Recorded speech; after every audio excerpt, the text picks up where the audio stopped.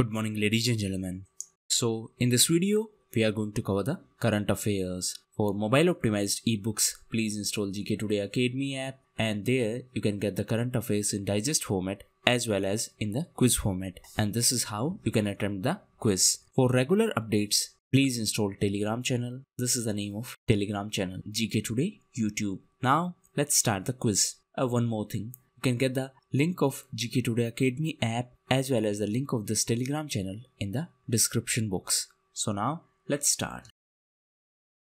Mukhyamantri Sahari Rozgar Guarantee Yojana is the initiative of which state that ensures employment for at least 120 days to the urban dwellers. So, this is an initiative of Himachal Pradesh government and the state government decided to provide employment to the urban dwellers under this Mukhyamantri Sahari Rozgar Guarantee Scheme. Now, the state decided to do so because a lot of people became jobless due to this lockdown. Himachal Pradesh was also in news because of e-Sanjeevani OPD initiative. Now, what is the purpose of this initiative? Through this initiative, online medical consultation will be provided to the sick people. So, it is like telemedicine. The state government was also in news because of its active case finding program. And as per this program, the state government started looking for those people who may have coronavirus. Which state becomes the first in India to provide free and cashless insurance cover to its people? So it is Maharashtra. Recently, Maharashtra became the first in our country to provide free and cashless insurance cover. And as per the Mahatma Jyotiba Phule Jan Arogya Yojana, approximately 85% of the state's population was already covered. Now, the state government decided to cover remaining 15% under the scheme, and therefore, Maharashtra became the first state in our country to provide free and cashless insurance cover to its people. Now, recently, Maharashtra was in news as ADB, that is Asian Development Bank, approved loan to Maharashtra to provide reliable power connection in the rural areas of Maharashtra. And this loan was provided on the basis of RBL modality. What is RBL? It is results based lending. So, therefore, India became the first country in South Asia to receive loan under this RBL modality. India is the largest borrower of Asian Development Bank and India is the fourth largest shareholder in Asian Development Bank. Answer in comment box which countries are top 3 shareholders in Asian Development Bank. Indian professor T. Pradeep has been selected for the 25th Nikkei Asia Prizes 2020. The Nikkei Asia Prize was created and presented by a media corporation based in which country? So, this question is related to Nikkei Asia Prize 2020 and it has been presented by a media corporation based in Japan and it is presented to those individuals who have contributed to the sustainable development. So, IIT Madras professor T. Pradeep has been selected for this award for developing a nanotechnology enabled water filter and this water filter can deliver clean water at the cost of 2 paisa per liter. Now, if we talk about Japan, Japan was also in news because of Order of Rising Sun and for this, Japan recently selected Manipuri doctor T. Dhabali Singh. Japan was also in news because of Tokyo 2020. Japan is the host of Summer Olympics and now these games have been postponed to 2021. Recently, Canada announced its withdrawal from the Tokyo Olympics. Apart from that, recently, the weightlifters from Thailand and Malaysia were recently banned to participate in Tokyo Olympics. What is the theme of World Press Freedom Day that is celebrated on 3rd of May? So the theme is journalism without fear or favor. Every year on 3rd of May, World Press Freedom Day is celebrated and the theme was journalism without fear or favor and it was celebrated by UNESCO. So now 3rd of May is World Press Freedom Day, while 4th of May is International Firefighters Day. 5th of May is International Day of Midwife. 5th of May is also celebrated as World Hand Hygiene Day and 5th of May is also celebrated as World Asthma Day. What is the name of Lokpal member and the former Chief Justice of Chhattisgarh High Court who passed away recently. So, Justice Ajay Kumar Tripathi passed away recently. He was the member of Lokpal. Now answer in comment box who is the present chief of Lokpal or chairperson of Lokpal.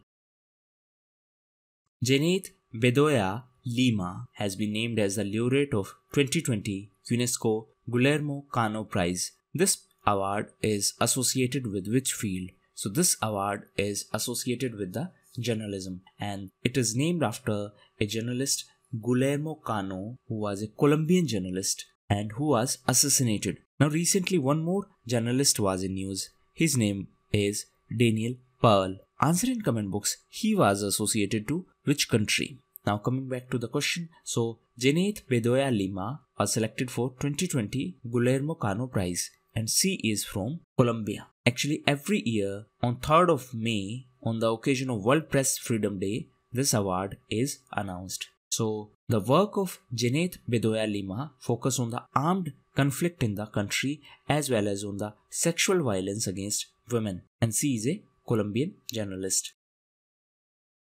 Which Indian journalist has been selected as the recipient of Freedom of Speech Award presented by the Deutsche Welle? So, Siddharth Varadarajan from The Wire has been selected for this award, which is to be presented by Deutsche Welle. Deutsche Welle is a German public international broadcaster and it is also known as DW.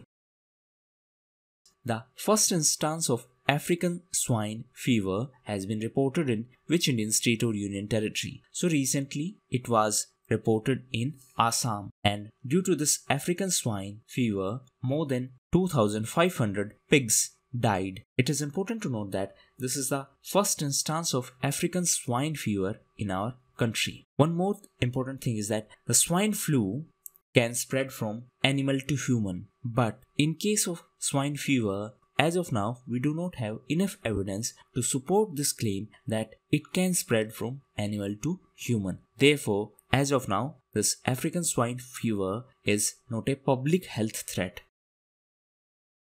What is the name of US based private equity firm which is to acquire 1.15% stakes in Jio platform by investing 5655.75 crores? So, US based private equity firm Silver Lake is going to invest in Jio platforms for 1.15% stakes. It is important to note that few days ago Facebook announced that it is going to acquire 9.9% stakes Jio platforms.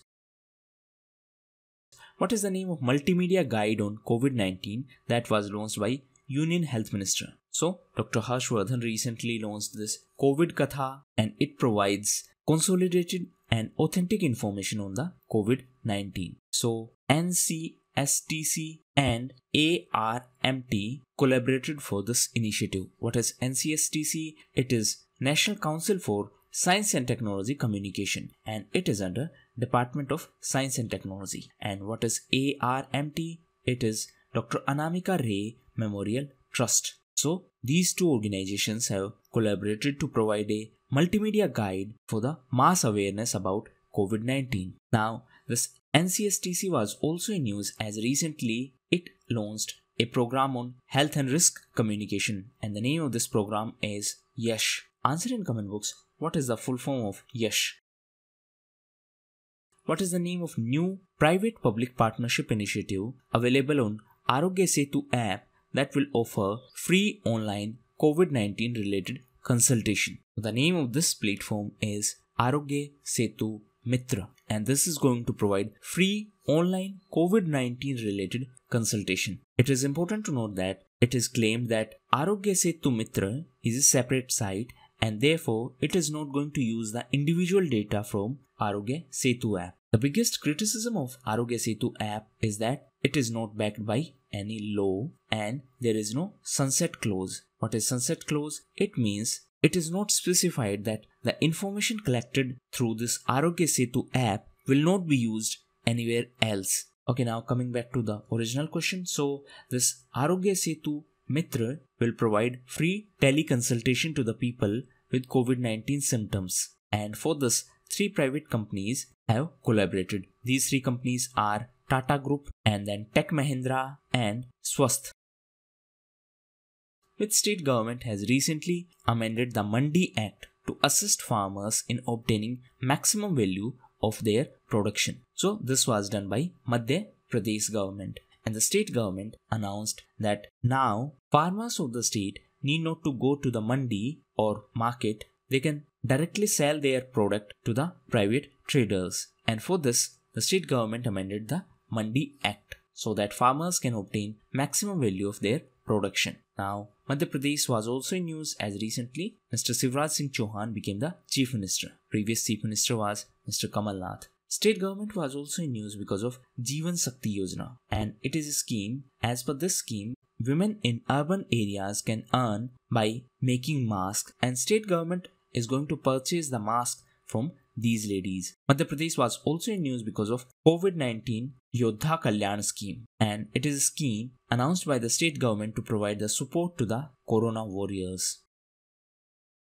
The Saras collection, which showcases utility products made by rural SHG, that is self-help group, has been launched by which e-commerce portal? So this has been launched by GEM, that is Government E-Marketplace. And recently, Union Minister of Rural Development and Panchayati Raj Narendra Singh Tomar launched this Saras collection on Government e-marketplace. Now, the products made by these rural self-help groups can be purchased through this e-commerce portal and it is an initiative of government e-marketplace in association with Deen Dayal Antyodaya Yojana National Rural Livelihood Mission. So now central and state government buyers can directly purchase from these rural self-help group. What exactly is government e-marketplace? It is like online shopping platform for government authorities. Now suppose if they need to purchase a set of table and chair they can order through this government e-marketplace. And this